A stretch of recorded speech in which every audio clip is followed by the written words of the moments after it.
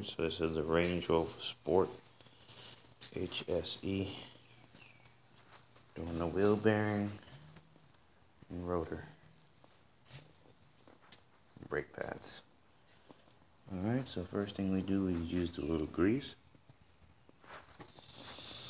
Greased up inside our shaft there. Greased inside the shaft. We put our bolts in the back.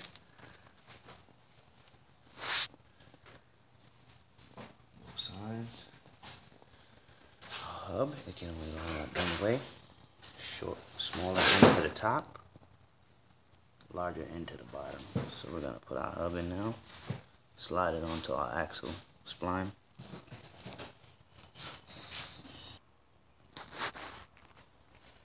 Alright, so we got our hub onto our axle spline. We started all four of our number 15s. Now we're going to go around the back,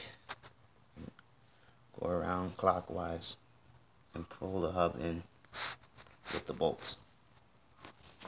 Alright, so I've tightened all four number 15, which pulled our hub all the way in. Now we're going to tighten our axle nut right all the way down as far as you can. It's uh, 32 millimeter. Alright, so you just want to reinstall your ABS sensor and that's a number 8. Now we're going to put back on our new rotor. It's a T50. Bolted to our hub.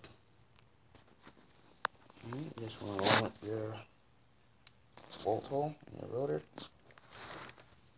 Install the T50. Alright, rotor's installed.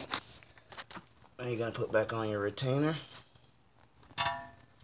two 21 12 points. 21. 12 point. Tighten those down. Alright, 21s are installed and tightened. Next we're going to install your brake pads into your retainer. Alright, so you want to reinstall your caliper. Put back in your two number 13s. And also your brake wear sensor. Now we're going to install our tire with the center hub out so we can tighten our axle nut. Alright, once you reinstall your rim, your center cap out, you want to tighten inside there and also tap the lock. a small slot there where you want to tap it, the nut in. So 22 millimeter lug nuts. 32 millimeter axle nut and tap the wheel. And that's the Range Rover Sport front wheel bearing replacement. Thanks for watching. Subscribe, comment, hit that like button.